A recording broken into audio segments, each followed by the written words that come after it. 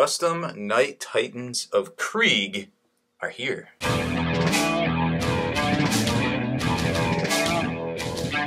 Spikey Bits.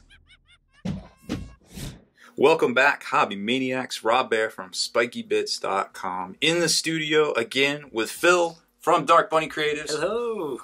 Um, these are really good. Thank you. I don't know if you know this. the internet has might has not told you yet, Mm. but really good. Thank you. Thank you. Uh, we're, we're pretty proud of them. Uh, never seen anything like this before. I was like, what, what do you got here? And then you started Mhm. unwrapping it, and I was like, oh my, oh, oh my. that's uh, that's that's very crazy. So, what's the uh, what's the overall theme and I guess procedure for something like this? And then maybe we'll take a closer look at each one individually. Certainly. Um, so this was all based around obviously the Death Korps Krieg. Um, Mhm. we're big fans of them at, at Dark Bunny, and uh, we actually brought a Death Korps Krieg with Space Wolf Knights to a, a Nova event, and that's where the, the client who uh, booked this project was inspired and, and reached out to us. So. Um, he is also in love with uh, with the Krieg, and so we decided to design this army around a uh, a knight household um, that is obviously well versed with Krieg um, and actually mid battle. So um, you've got Krieg running through trenches as they so often do, Yes. and uh, the knights sort of stomping through uh, around them. Careful not to squish them, you know. always always uh, uh, looking down. Exactly. So um, yeah, so we got the Krieg trenches. Um, all of them also have custom um, carapace weapons. So we've done we've gone in and done these uh, platforms that we built out Mhm. using the platforms from Wyverns in the Hydra kit, Mhm. um, and then we added the mortars that are part of the Krieg Forge World kits.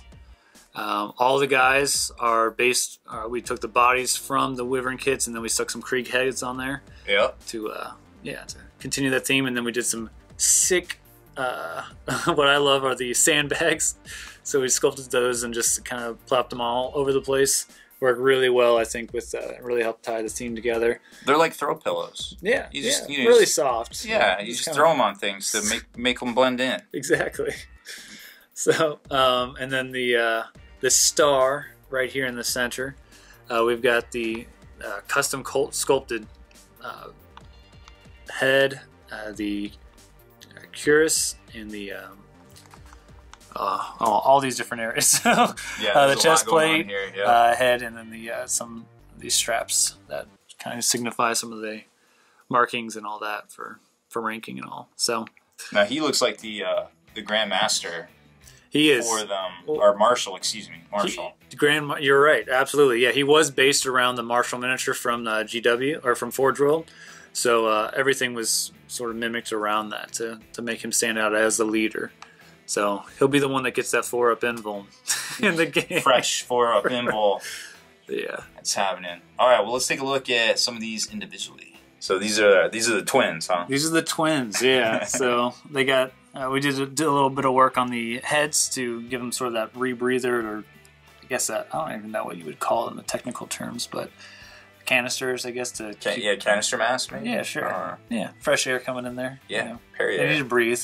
Knight's got to breathe, bro. Yeah. Uh, but yeah, uh, we did magnetizing on all these knights, so um, as is standard, uh, we've got the different guns here. All the Um, options.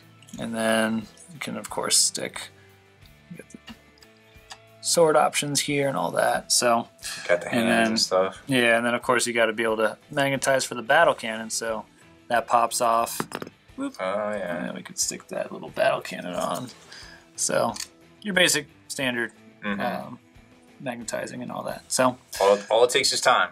it does. What about what about up here? How do you switch that out? So the gun pops right off. So these are designed to represent the missiles. Uh, Mhm. that would be the Curicus weapons or Carapace weapons, excuse me. And then you can just standard anti-air gun there if you want to Oh, wow. bring that along. So There's the two different ones right there. Very cool. yeah, Nice. Those look great. And there's the big boy. the Looking- big daddy. This is a classic uh, come Yeah. at me. Absolutely, he's pointing at you and everything. Wow. Let's bring it on. Uh, yeah, that's uh, pretty pretty remarkable once we start getting a, a look just at this. Now, what? Uh, so, what level is this? Because there's obviously some conversions going on. Yeah, so the conversion is all um, we we usually just charge separately for that, so that's not necessarily uh, Oh. with the level itself. Gotcha. Um, epic basing does entail more impressive basing, which these are all epic. Um, but this was almost uh, like a diorama, so it was a little bit more uh, involved than just a standard epic basing project. Uh, but the paint job is all done to epic, including the infantry. Um, Mm. And yeah, and then we had the sculpting, of course, with the mask and the faceplate, which we showed a lot of WIP shots of and sort of progress shots on our Facebook page. So you guys are welcome to check that out if you want to see some more details on how it sort of started, um, which is Facebook Dark Bunny Creatives.